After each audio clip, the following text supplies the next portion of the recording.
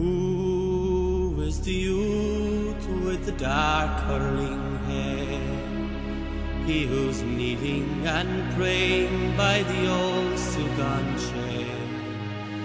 He sighs as he strikes his brave breast now and then. He's thinking of home, of his country and men. Then he jumps to his feet, there's a knock at the door.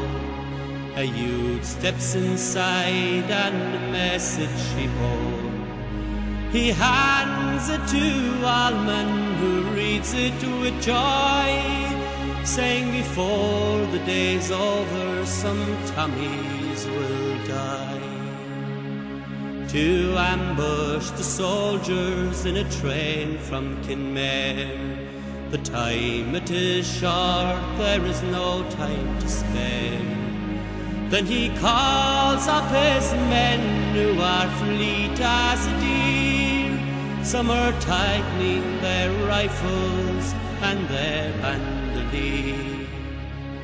Oh God, they are off, the old woman cried. God guide them and guard them and be at their side with hearts ever through and with heads held up high for God and old Ireland they're ready to die.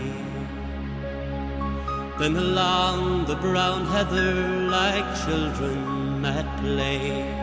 And to Headford Junction they're winding their way. The station is reached they begin to prepare the wagons are shifted and the way is made clear. The train is soon sighted, the boys disappear. Their rifles are loaded and at the prepare. When the train reached the station, the Tommies jumped out, crying, Where are these shinners we all hear about? But they didn't wait long till a shower of lead rain came cracking and tearing right into the train. The Tommies run off all screaming with fright, and two dozen are gone where they'll never see the light. Then Allman gives orders, but it is all in vain for the Tommies are firing from under the train. To get at these ruffians, he must go to the rear. The car train is coming, there is no time to spare. Then under a wagon he is seen far to go. He's kneeling and firing and lying down low. But alas, there's a groan as he rolls to the ground. Then he rises again and gives one look around. Then he calls up a comrade, a youth through and tried, saying, I'll command you no more, I am shot in the side. The youth takes him out from under the train and the bullets are falling as thickly as rain. The fight is all over, the car train is in. So to try and escape, the youth must begin.